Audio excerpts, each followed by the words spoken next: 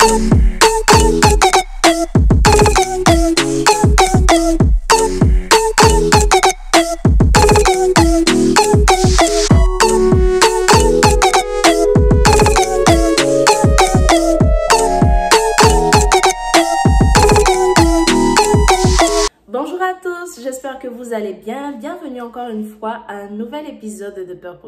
Alors aujourd'hui, nous continuons avec notre série qui porte sur le glow up en tant que chrétien.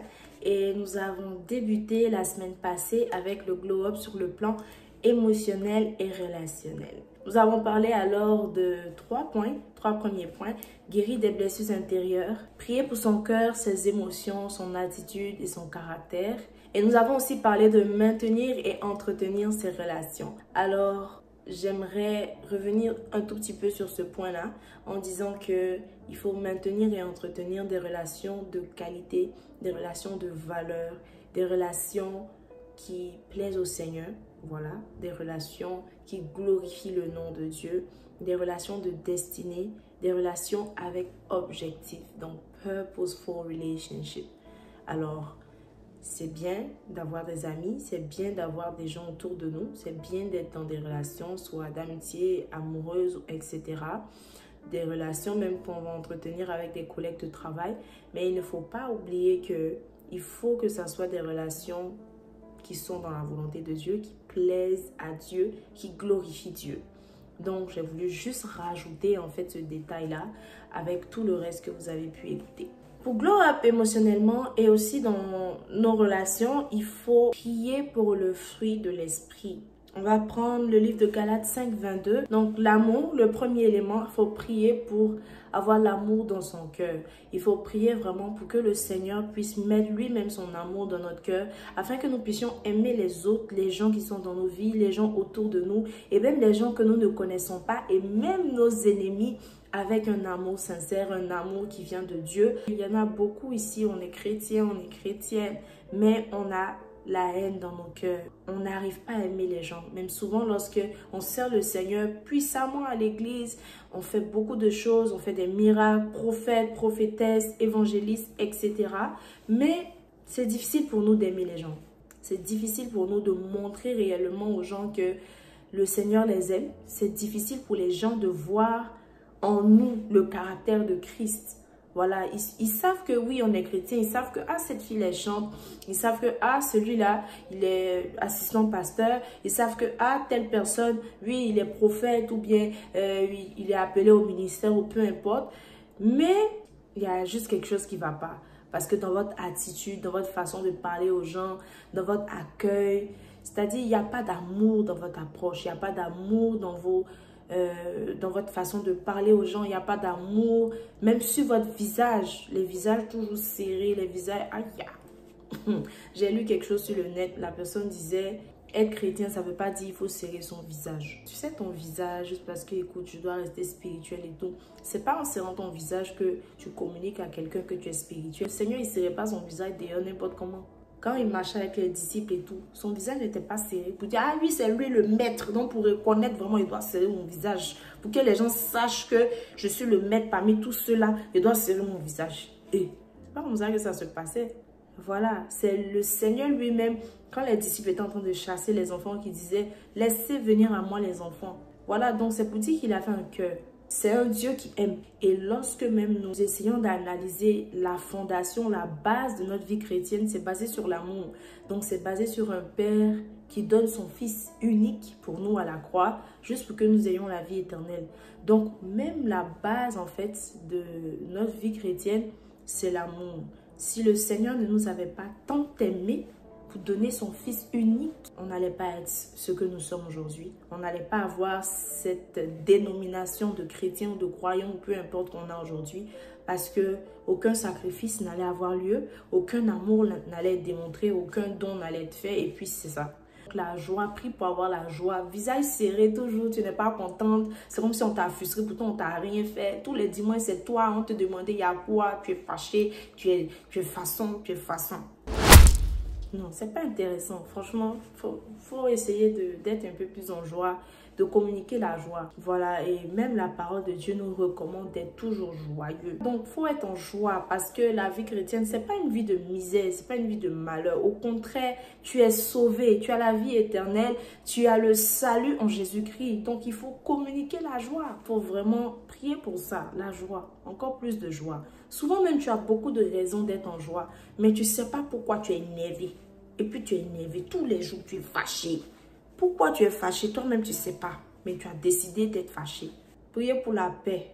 Vraiment la paix avec tous. La Bible dit rechercher la paix avec tous. Souvent, marcher avec le Seigneur, c'est comme si ça ne fait pas du sens. Il ne faut pas marcher avec le Seigneur avec ta logique ou ta raison ou le raisonnement humain ou je ne sais pas ton intelligence parce que ça ne marche pas. Là où toi, tu penses que tu as raison et que tu dois faire comme si, tu dois te comporter comme ça, tu dois répondre comme ça aux gens, tu dois parler comme ça, tu dois mettre les gens à leur place. C'est là le Seigneur va te dire, faut t'humilier. Là où tu penses que tu dois, I have to teach this person a lesson. C'est-à-dire que je dois montrer à cette personne de quel bois je me chauffe. Là où tu penses que tu dois réagir comme ça, c'est là le Seigneur va dire, va demander pardon, va t'humilier, va te rabaisser.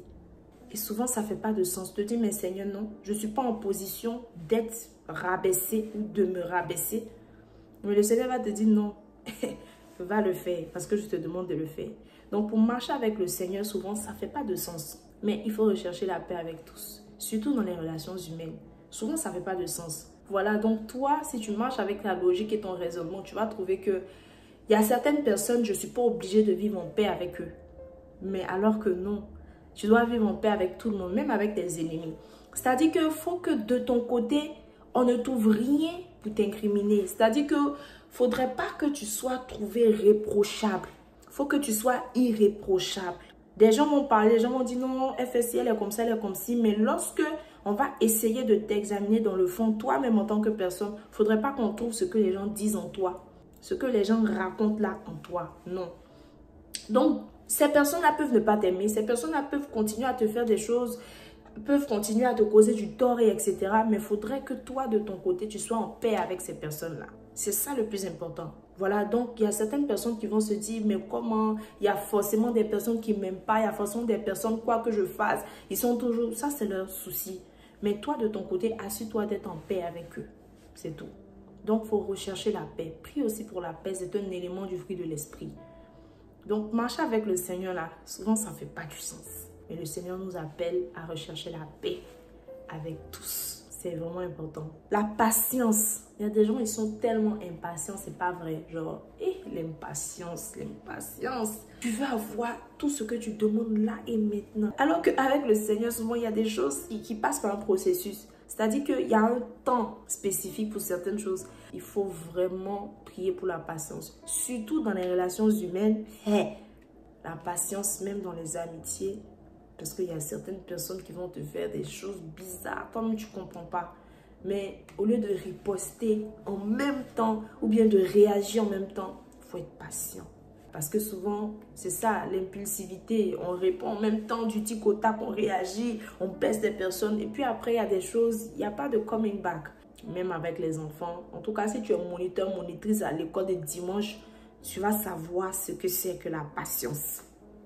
Moi, je peux témoigner de la patience en tant que monitrice. la bonté. La bonté est différente de la gentillesse faut prier pour l'élément du fruit de l'esprit qui est la bonté. Prie pour être bon envers les gens. Mais la gentillesse, c'est-à-dire que tu réponds à tout, tu fais tout, tu attends. Et puis à un moment même, c'est comme si tu privilégies les autres plus que toi-même. Ça, ça devient un péché. Laisse-moi te dire ça. Parce que la Bible même dit, il faut aimer ton prochain comme toi-même. Parce que si toi, tu n'es pas dans de bonnes conditions, ton âme ne sera pas dans de bonnes conditions. Tu ne seras pas heureux tu ne seras pas en train de glow up émotionnellement. Même si tu es en train de soutenir les autres, il faut les soutenir, il faut être là pour les autres. Pleure avec ceux qui pleurent, rire avec ceux qui rient, etc. Il faut donner, mais il ne faut pas s'oublier soi-même. Il y a beaucoup qui font cette erreur-là. Non, elle est trop gentille, il est trop gentil. Il ne s'agit pas d'être gentil, il s'agit d'être bon. Donc, il faut être bon envers les gens, mais il ne faut pas être gentil. Ce n'est pas de la gentillesse qu'on parle. La gentillesse, ce n'est pas un élément du fruit de l'esprit. Ça, j'avais déjà parlé de ça dans d'autres vidéos. Je pense que j'ai parlé de ça, oui, dans la série « Comment bien vivre son célibat ». La gentillesse, c'est pas un fruit de l'esprit. Tu vas voir la fille là, elle est trop gentille. Non, elle s'en va laver les habits du gars. Elle s'en va prendre soin du gars. Elle s'en va vraiment. Eh, elle fait des choses même comme si on l'a déjà mariée. C'est pas, pas ce qu'on t'admet de faire. Non, elle est trop gentille, elle est bien, c'est une bonne fille. Elle est très gentille. Tu te laisses m'amener comme ça? Non, elle est trop gentille. Quand j'essaie de la toucher, elle va me laisser. Euh, C'est-à-dire qu'il y a une fille qui rendait son témoignage comme ça. C'est comme si, en fait, le gars, il avait de fortes émotions, de forts désirs sexuels, en fait. La fille est très gentille. Je sais que si je demande à la toucher, à la caresser, elle va accepter. Et il lui disait comme, faut m'aider, en fait, à, passer, à faire passer mes désirs sexuels. Et faut m'aider, là, c'est quoi? Je veux coucher avec toi. Donc, c'est en toi que je vais libérer ma pression sexuelle, mes désirs sexuels. Non, faut m'aider en fait à me décharger de ma pression. Non, parce que je suis trop gentille, je vais t'aider à libérer ta pression. Je ne suis pas une décharge. Je, Donc, parce qu'elle est trop gentille, elle m'aide à me décharger. Elle est disponible, je couche avec elle. Après, je vais bien. Et puis, je lui dis merci. Je peux pour elle. Écoute, c'est n'importe quoi. Arrêtez ça. Moi, je suis mauvaise. La bénignité. Tout ça, ça fait partie de la bonté. La fidélité.